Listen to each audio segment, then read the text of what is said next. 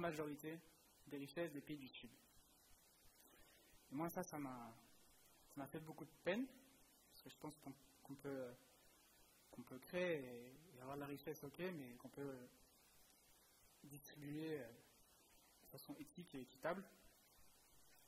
Un autre point, c'est qu'on a 10 sociétés, des multinationales, qui contrôlent les marchés, qui fixent les prix du riz, du blé, des céréales, donc les aliments les plus consommés. Et j'ai découvert qu'on avait tous en nous deux pouvoirs.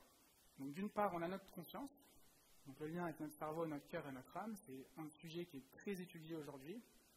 Et c'est quoi notre pouvoir C'est notre argent. Comme j'ai expliqué tout à l'heure, chaque jour on vote.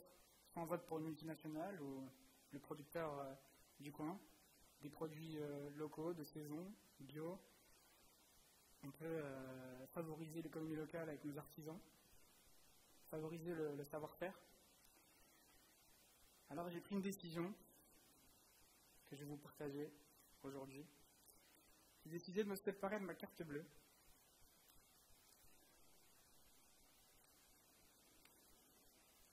Mais tout ça c'est bien, mais qu'est-ce qu'on fait, Thomas? C'est très bien. bah, par exemple, il y a les monnaies locales. Alors, des monnaies locales, il y en a partout, près de chez nous, dans la France, dans le monde entier. Il y a d'autres économies possibles, il y a des, îles entières qui, retrouvent un, autre dynamisme, un autre élan grâce à ces monnaies locales. Et on vit, croyez-moi, on vit une époque formidable. Il y a plein d'opportunités, il y a plein de défis, il y a plein de challenges à résoudre. On a par exemple ces 17 enjeux que nous propose l'ONU pour euh, le millénaire, et je vous laisserai méditer avec un grand sage, Il nous a laissé avec cette phrase Sois le changement que tu veux voir dans le monde.